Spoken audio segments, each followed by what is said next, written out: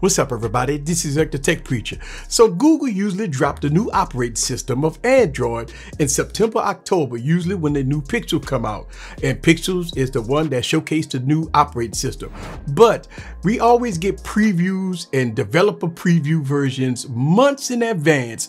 Uh, also, we get beta versions months in advance. Well, Google strangely dropped a bill, a early bill of Android 13, and I installed it on my Google Pixel 6. So let me give you my thoughts about it. Sit back relax and get your popcorn ready and follow me on this journey. Let's go.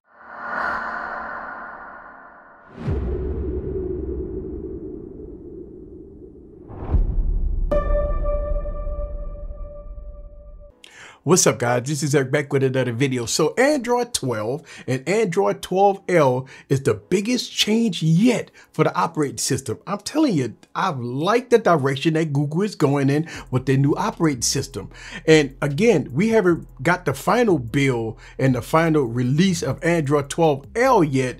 Uh, and it's coming out very soon. But it seems strange that Google released the developer preview of Android 13. So I installed it on my Google Pixel 6 and I want to give you guys my thoughts here about it.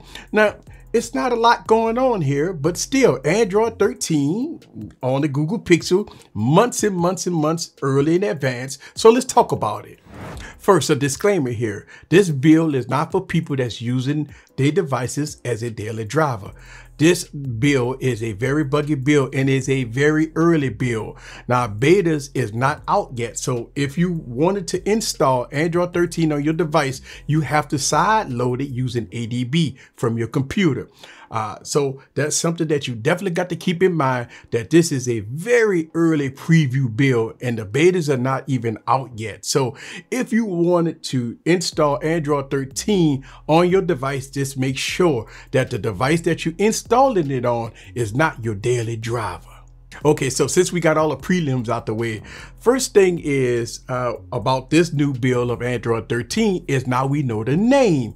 Uh, the name of this of Android 13 is going to be called tiramisu. As you know, with Android 12, it was called Snow Cone, and Android 12L was called Snow Cone version 2.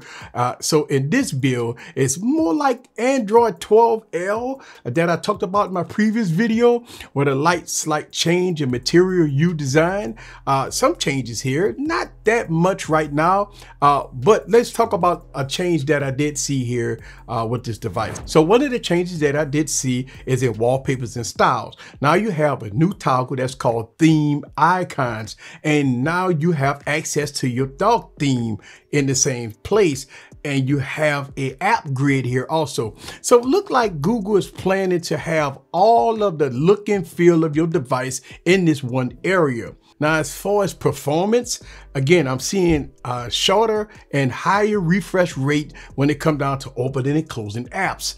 Uh, again, it looked like Google is going for a cleaner, user-friendly OS with Android 12L and Android 13. So it gives you more of a personal look with Material You. And I, I really do like the direction that Google is going in here. Look, I can't wait to see what's next. You know, I will be making a bunch of videos about Android 12L and Android 13, so stay tuned. So having Android 13 right now, my Google Pixel 6, performance has been really good. Now you do have the usual app crashes and the poor battery life as I talked about in my Android 12L.